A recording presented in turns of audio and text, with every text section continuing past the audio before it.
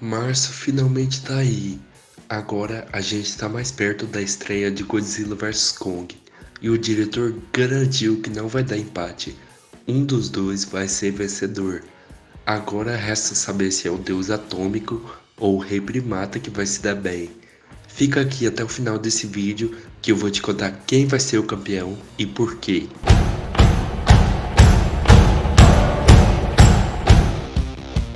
Fala aí nerds, beleza? O diretor de Godzilla vs Kong mandou a real. Um dos monstros vai perder. Ele deu uma entrevista no IGN Fest e explicou que seu desejo é entregar uma luta definitiva entre eles e responder de vez quem vence essa luta. Olha o que ele falou. Eu só queria fazer com que essa fosse uma verdadeira disputa. Eu queria que você saísse com uma resposta. Quero que não existam mais argumentos. Essa é a decisão. Você não precisa mais debater. Você assiste ao filme, aquele é o Godzilla, aquele é o King Kong. Eles estão se batendo e um vence. É isso. A gente sabe que esse embate entre os titãs vai ser épico. Só não vai ser mais épico que o seu like.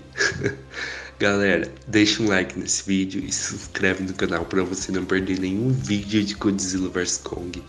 E não esquece de ativar o sininho. Quem não tá ansioso para ver os dois gigantes se pegando? Putz, pessoal, eu tô hypado demais para esse filme.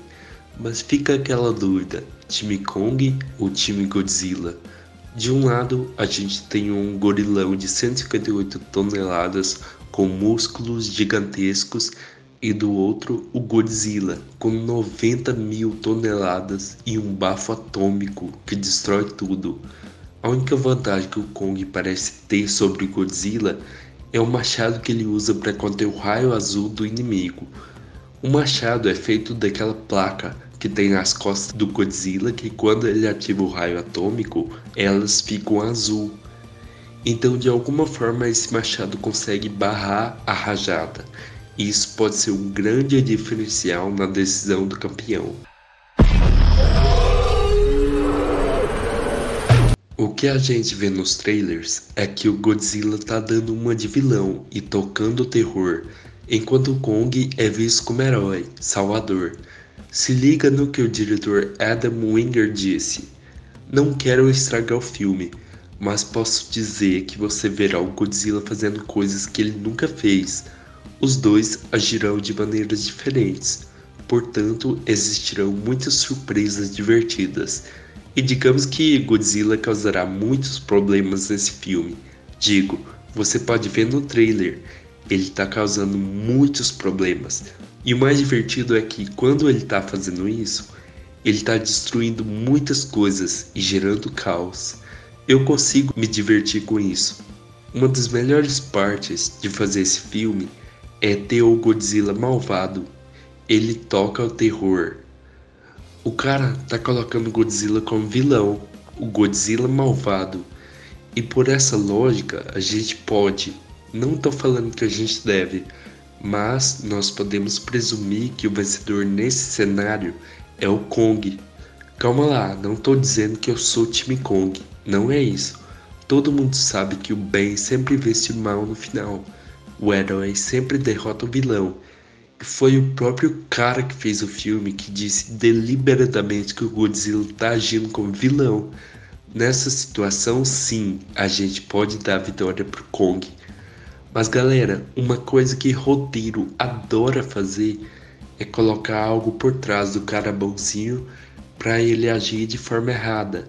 Isso pode ser visto no trailer, quando a Madison fala que tem alguma coisa provocando Godzilla coisa provocando ele que não estamos vendo aqui. Eu concordo com você. E se a gente voltar nos outros filmes, a gente vê que o lagartão atômico foi herói o tempo todo.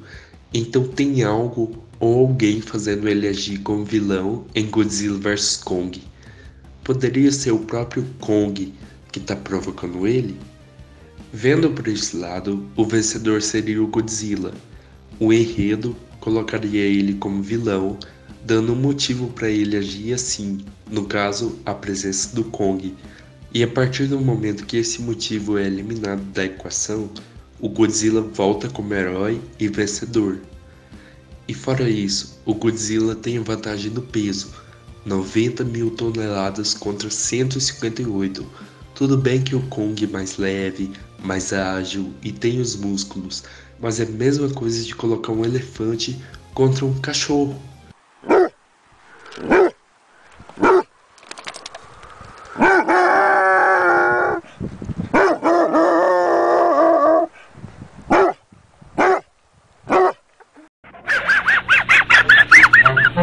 E não é exagero, o Rei dos Monstros pesa quase 600 vezes o peso do Kong.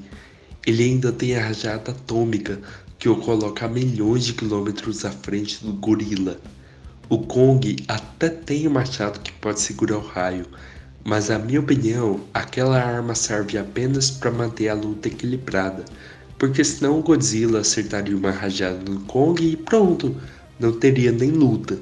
De qualquer forma, quem for realmente vencedor vai passar por uns maus bocados até levantar o troféu. Olha, eu vou ser sincero, eu curto muito o King Kong e todo o passado dele na nossa cultura, mas eu não posso deixar de ser time Godzilla. Eles estão querendo que a gente acredite na vitória do Kong pelo marketing do filme, mas vão acabar colocando o Rei dos Monstros como campeão. Mas eu não acho que o Kong vai morrer. Eles nunca jogariam um nome tão importante fora. Ambos os cajus devem continuar no Monstroverso, independente do resultado dessa batalha. Galera, eu fiz uma enquete lá no Facebook perguntando quem ia ganhar essa luta e o Godzilla massacrou o Kong nessa enquete. Foram mais de 500 votos contra cento e pouco do Kong. E para você não perder outras enquetes e também notícias sobre o mundo nerd, segue o Nerd da Hora nas redes sociais, é arroba Nerd da Hora. Segue lá. E você, cara? Time Kong ou time Godzilla? Quem é o seu campeão? Comenta aqui embaixo qual dos dois vai ganhar. Eu quero ler o que você acha. E não esquece de deixar um like, me dá essa moral aí, por favor. Muito obrigado pela sua presença até aqui. Vejo vocês no próximo vídeo. Até mais, nerds!